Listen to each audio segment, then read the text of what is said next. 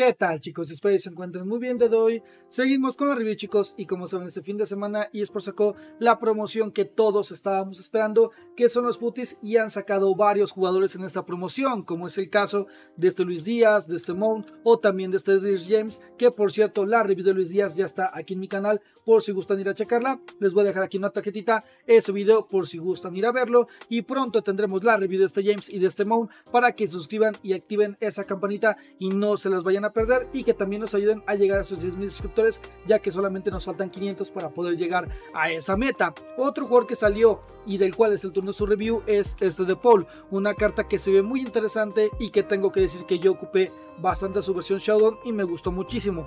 Vamos a ver si esta versión de Footy sigue rindiendo de una buena forma a estas alturas. ¿Qué nos encontramos con este de Paul? Ataque elevado, eh, defensa elevado, pierna derecha, movimiento los 4 y pierna débil 5. En atributo nos encontramos con un ritmo de 93, aceleración 94 y sprint 92. Yo le puse ancla para mejorar el ritmo, la defensa y el físico. En tiros, posicionamiento 94, remates 89, fuerza tiro 94 y tiros largos de 95. En pases, que no está nada mal, visión 98, pase corto 98, pase largo 96 y efecto de 98. En regate, agilidad 98, balance 97, reacción 94, control de balón 97 y compostura de 95. La verdad es que le metieron una chetada muy muy importante en regate que yo no me esperaba. En defensa, que no está nada mal, intercepción 92, entradas 97, barridas 86 y percepción defensiva de 90. En físico, salto 80, energía 97, lo cual nos va a permitir poder ocuparlo durante todo el partido,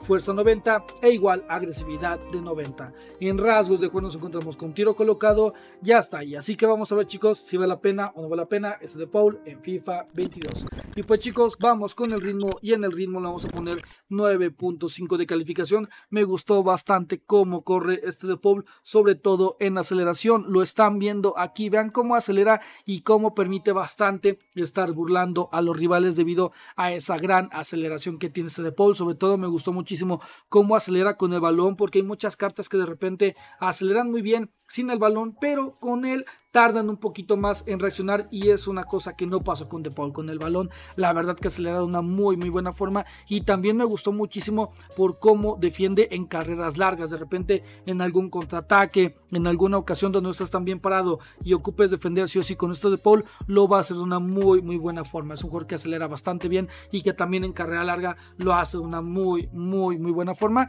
pero que obviamente tengo que decir que no le puedo poner el 10 de calificación, por cierto quiero que vean este cañonazo que saca este desgraciado metió un maldito golazo y les tengo que spoilear que no fue el único que metió de esa forma. Es una carta que corre muy muy bien, pero que obviamente pues no llega a tener ese ritmo perfecto como para ponerle un 10 de calificación. Así que por eso 9.5 en la calificación de ritmo. Y ahora vamos con el tiro y en el tiro le vamos a poner 9.5 de calificación. Me encantó, me fascinó cómo dispara, sobre todo de larga distancia. Saca unos cañonazos muy buenos y con una muy muy buena colocación, sin ninguna duda si tú eres una persona que tiene bien medido los tiros de larga distancia, ya sea con time finishing, pues la verdad es que te va a funcionar muy muy bien, vas a meter muy buenos goles con este jugador, sea con su pierna mala, con la pierna buena, va a disparar de una muy muy buena forma. En este sentido la carta destacó bastante y me gustó mucho porque yo la verdad es que no suelo disparar tanto de larga distancia, pero cuando grabo una review me gusta probar qué tal disparan y pues bueno, con este de Paul me encontré con este tipo de cosas. Ven el cañonazo que saca ahí con su pierna izquierda, que hay que decir que no es su pierna hábil y lo, lo hizo de una muy, muy buena forma, aunque no le pongo el 10 de calificación. ¿Por qué? Porque en lo personal creo que me gustaría que atacara un poco más. Si es un jugador que se suma al ataque, si es un jugador que se nota ese alto en ataque, pero no sube tanto al área rival, se queda tal vez en ese borde y pues obviamente estaría de lujo que subiera todavía un poco más para poder aprovechar esa potencia de disparo y ese 5 de pierna mala todavía de una mejor forma. Pero no te preocupes que en algunas situaciones sí va a estar arriba y sí te va a ayudar a disparar, aunque creo que pudo haber subido todavía un poco más. De igual forma, 9.5 de calificación en tiro creo que no está nada mal. Así que por eso 9.5 en la calificación de tiro.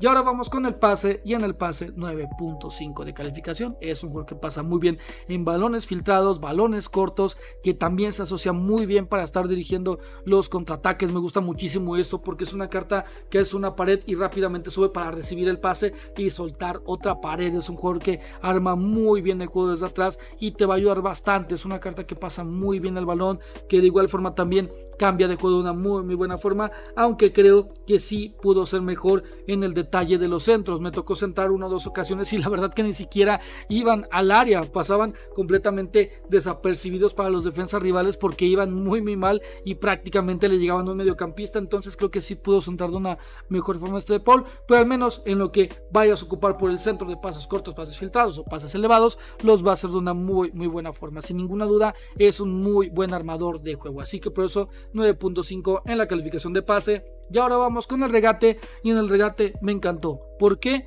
Pueden darse cuenta que me encantó porque vean la calificación que tiene. 9 de calificación sin tener 5 de skills. Recuerden que le estamos quitando un punto de skills, pero además en lo demás no le quito nada. Es una carta que me gustó en todo, en la agilidad, en el balance, en las reacciones me gustó mucho. Yo pensé que se iba a notar un poquito de contraste a comparación de los demás atributos, pero no, reacciona de una muy muy buena forma. El control de balones impecable, lo tiene muy muy bien pegado. Aparte que cuando recibe un pase controla rápido y se gira rápido. Es un jugador que regatea de una muy muy buena forma y me gustó bastante para salir jugando. En este sentido la carta me fascinó y por mucho. No esperaba esto de este jugador. Si a ti te gusta salir jugando con los mediocampistas y de repente estar burlando con el joystick, este de Paul te va a encantar. No me quiero imaginar lo que hubiera sido esta carta con 5 de skills para estar burlando a los rivales. Sin ninguna duda, en ese sentido, este de Paul me gustó muchísimo. Aunque pues no le puedo poner más calificación ya que no tiene los 5 de skills. Así que por eso 9 en la calificación de regate.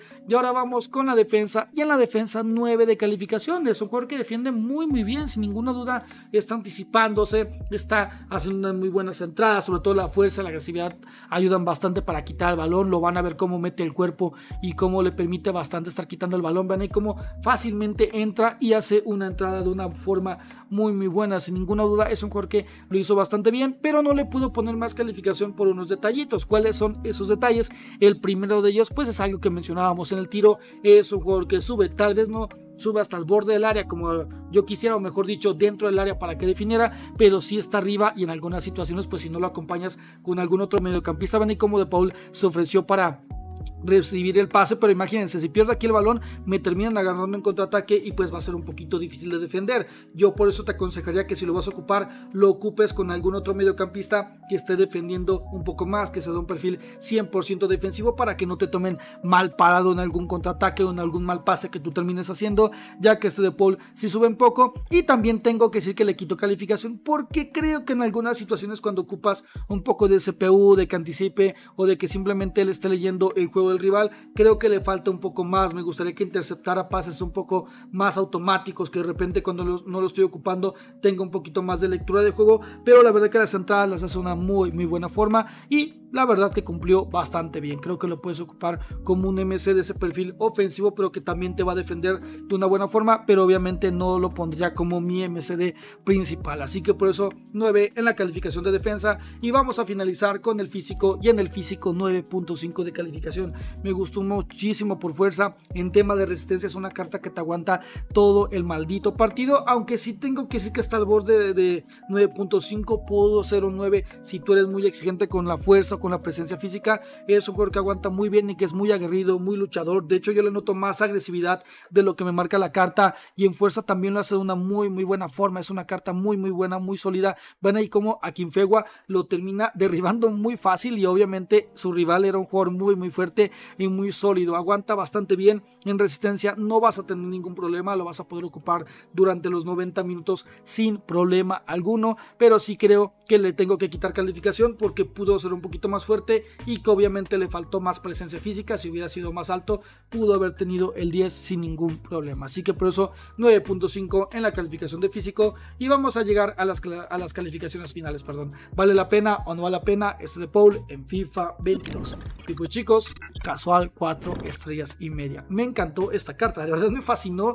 Yo la verdad que no le presté muchísima atención cuando salieron los jugadores, cuando vi a Mbabu, a James, a Mount, también hay ese Luis Díaz. La verdad, tengo que ser muy honesto, De Paul fue el jugador que menos llamó mi atención, pero ya usándolo, la verdad que me encontré con una muy grata sorpresa y sentí otra vez una carta chetada que sentía muy bien con su Showdown. Yo con su Showdown lo estuve ocupando y la verdad es que lo hacía de una muy buena forma y esta versión de Footy también lo hace muy muy bien. Es un jugador que está constantemente, constantemente defendiendo, atacando, que también físicamente está bastante bien, que el disparo la verdad no está nada mal. Es un jugador que me gustó muchísimo y que es altamente recomendado. Si tú por ejemplo no tienes las monedas para Pedri, que para mí es el mejor mediocampista que tenemos en la Liga Santander, creo que De Paul puede ser de tus primeras opciones junto Corona y Modric y es por eso que no le pongo las 5 estrellas porque tiene dos muy buenas alternativas. No digo que no sea peor, creo que cada uno tiene sus atributos, por ejemplo en el caso de Corona pues tiene esas 5 de skills, pero creo que De Paul todavía regatea, perdón, defiende de una mejor forma, es más físico, es más sólido, Corona le gana en el regate y Modric es un poco de los dos juntos, defiende mejor que Corona, pero tal vez no tiene ese físico de Paul, pero sí tiene un poquito más de regate que este de Paul todavía, de Paul me encanta el regate, pero Modric todavía se mueve de una mejor forma, creo que depende completamente de tu estilo de juego, si buscas las skills, yo me iba con Corona, si buscas algo más físico, me voy con De Paul, si buscas algo los dos, creo que Modric, es por eso que no le puedo poner las 5 de calificación en casual, pero sin ninguna duda es una alternativa muy buena. Me fascinó muchísimo la carta. Si tienes una Liga Santander, sin ninguna duda, sí pensaría bastante en hacerte a este de Paul si no tiene las monedas para Pedri. Y creo que aparte están en un precio muy, muy, pero muy accesible para un jugador casual 130 mil monedas y más tomando en cuenta que EA va a empezar a regalar medias a lo tonto, va a ser una carta muy accesible para todo el mundo y es por eso que en lo personal se me hace una de las mejores opciones que tenemos en la Liga Santander junto a los que ya mencioné, así que para mí De Paul es una carta muy muy a tomar en cuenta, si no te gusta Corona por el físico o no te gusta Modric porque no sé, no te gusta la 5 de pierna mala o lo siento tal vez un poquito lento, pues De Paul puede ser una opción muy muy buena y muy interesante que sin ninguna duda está entre los mejores mediocampistas de la Liga Santander. Me gustó y me fascinó este De Paul. Así que por eso 4 estrellas y media en casual a este de Paul. Y pues chicos, vamos con Tryhard. Y en Tryhard, por más que me haya fascinado la carta, 3 estrellas y media. No es mala, espérense a la calificación de competitivo para que vean la calificación que va a sacar. Pero ¿qué pasa? Entonces, ¿por qué si es mala, si no es mala la carta y está en buen precio, por qué no le pongo más calificación? Porque creo que ya tenemos muchísimas opciones de mediocampistas en todo el juego. En la Liga Santander sigo considerando que aunque tal vez no tenga el físico y la fortaleza que tiene de Paul, Pedri se me sigue haciendo un mejor mediocampista y es por eso que me es complicado por poder recomendar a este de Paul cuando tenemos esa opción de Pedri y creo que ya un jugador tryhard pues sí tiene más alternativas para poder comprar a De Paul, tiene más opciones, tiene más monedas,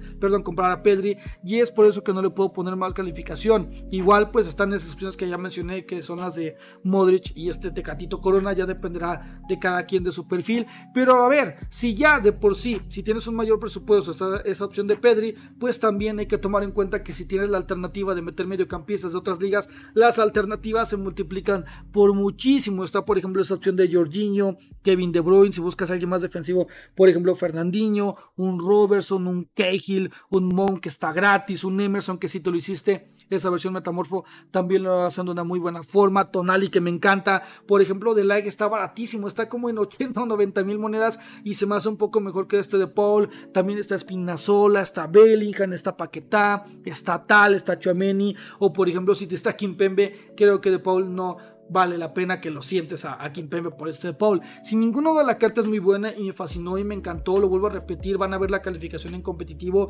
Dentro de la Liga Santander sí es de las mejores opciones sin ninguna duda, pero desgraciadamente tienes a Pedri que se me hace una mejor opción o tienes a dos jugadores que pueden gustarte un poco más dependiendo de tu estilo de juego que son Tecatito Corona o también este Modric y si nos fijamos en otras ligas las opciones son muchísimas. El problema de, de Paul no es como tal él, el problema son las alternativas que tenemos actualmente en el juego ya que son muchísimas. Si después lo hubiera salido con 5 skills, la cosa hubiera cambiado, pero con 4 y 5, aunque sí se aprovechan las 5 de pierna mala, no son tan importantes de repente en algunas situaciones, ya que no disparas tantos como mediocampistas. Sin ninguna duda, es un jugadorazo, es muy bueno, pero creo que alternativas hay muchísimas y es por eso que puedes tener una sobre población de mediocampistas en tu plantilla y no sea necesario agregar otro más a esa lista. Pero sin ninguna duda, si tienes una liga Santander y no tienes para Pedri, creo que De Paul puede ser de las mejores opciones. Pero ya en otras ligas no lo considero tan obligatorio. Así que por eso, tres estrellas y media en tryhard a este De Paul. Y pues chicos, lo que siempre comento, comento perdón, la cosa es que no lo recomiendo tanto y otra cosa es que la carta sea mala. Y este no es el caso. Es una carta que es buenísima y que rinde de una forma excepcional. Sin ninguna duda me gustó muchísimo, me fascinó. Lo voy a seguir ocupando en una que otra review. Va a ser de mis primeras opciones para poder ocuparlo. Desgraciadamente tengo a Pedri pero si de repente lo ocupo por el link argentino o el link del Atlético de Madrid, no voy a tener problemas ni voy a decir, ah, voy a sentir un doble muy importante. Claro que no, va a ser una carta que va a rendir de una muy, muy buena forma. Me gustó muchísimo el regate que tiene. No me esperaba esto de esta carta. También el ritmo está bastante, bastante bien. Aunque obviamente para hacer una mejor carta le faltaron algunas cositas. Me hubiera gustado que atacara todavía un poco más para aprovechar los disparos de larga distancia o los remates, esa potencia de disparo. Creo que sí le hace falta un poco subir más al ataque, también un poco de mejor defensa CPU. ¿A qué me refiero con la defensa CPU? A que cuando tú no lo estás ocupando se anticipa más a los pases. ¿Cuántas veces no te enfrentas, por ejemplo, a Kanté, que es de los mejores en este sentido, y el rival ni lo está ocupando y el maldito Kanté va y te quita el balón o te termina cortando un pase sin ocuparlo? Le falta un poco de esto de Paul o de Paul, ya no sé ni cómo le dicen, creo que le dicen de Paul si no me equivoco.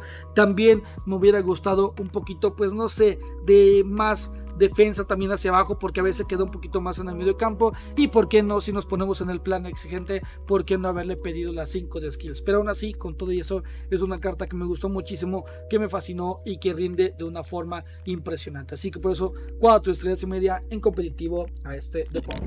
Y pues bueno chicos, esto ha sido todo por el video de hoy. Les recuerdo que pueden darle like, comentar, suscribirse y activar la campanita para que no se pierdan ningún video, ya que ayudan bastante el canal y aparte me apoyan a llegar a esos 10.000 suscriptores que solamente nos faltan 500 para llegar. Y como siempre los invito a seguirme en mi canal de Twitch, Rivander7, donde transmitimos todos los días en punto de las 9, 10 de la noche, hora México, de lunes a jueves y lo que son los fines de semana, viernes, sábados y domingos, transmitimos en un horario más al azar, de repente en la tarde, de repente en la noche, va dependiendo completamente del trabajo que tengamos por hacer. Pero si quieren enterar a qué día, a qué hora o qué día vamos a transmitir o saber cualquier cosa sobre mí, pueden seguirme por todas mis redes sociales, Instagram, TikTok y Twitter donde me van a encontrar como Rivan R7. Y pues bueno chicos, esto ha sido por este video y nos vemos un rato más con la review de este mount y de este Gem. Los amo, los quiero. Bye.